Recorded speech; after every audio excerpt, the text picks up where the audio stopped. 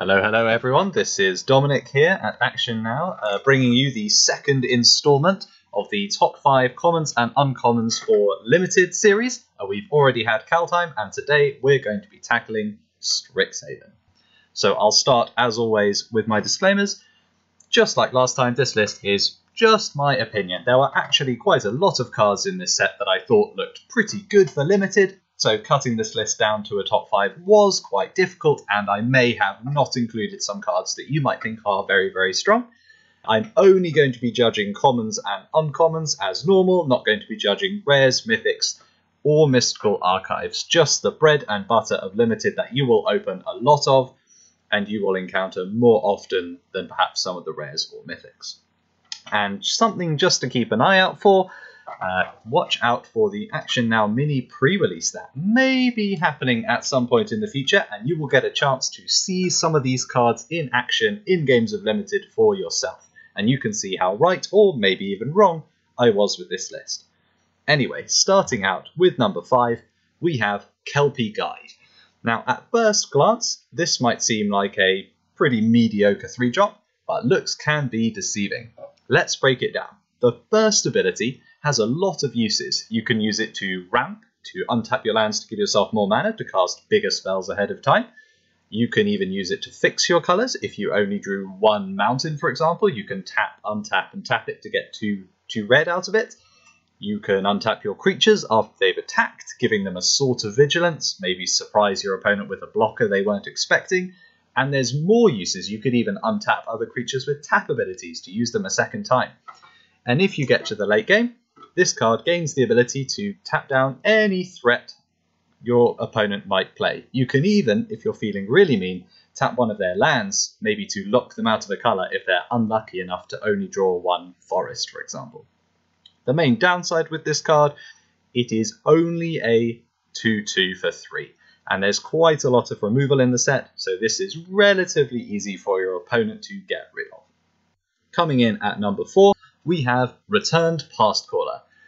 This is pretty solid. It's a dangerous 4 power flyer. It can threaten a lot of damage quite quickly in the air. If your opponent doesn't manage to block this, it will kill them pretty quickly, and it gives you value straight away by returning a spell or even a spirit to your hand when you play it.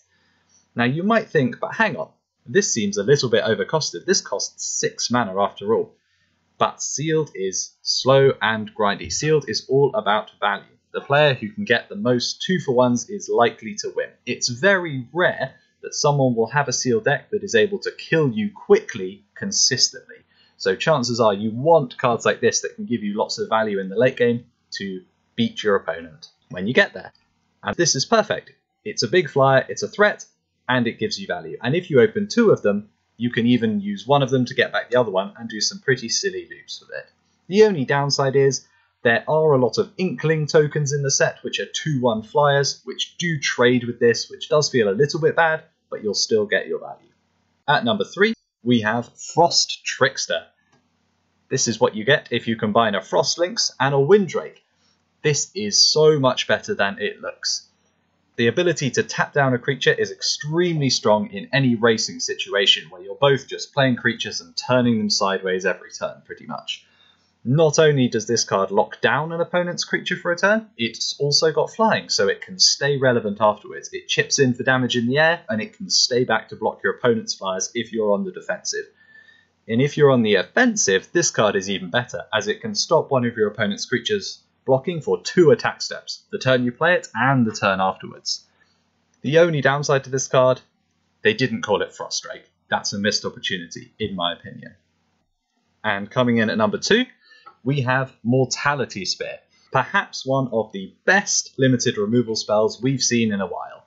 For 4 mana, instant speed, you answer anything, no questions. Oh, well, okay, not anything, it can't answer a land, but anything threatening that your opponent can play is gone. Maybe even that Professor Onyx your opponent was lucky enough to open, it's still gone.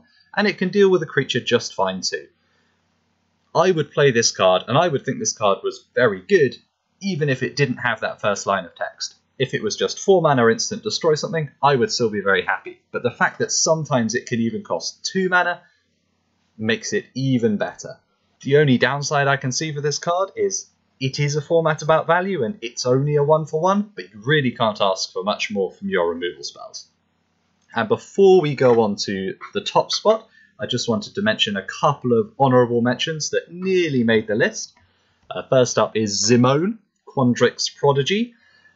Again, sealed is based around value. This card gives you a ton of value. It's a 2-drop that is still relevant if you draw it later.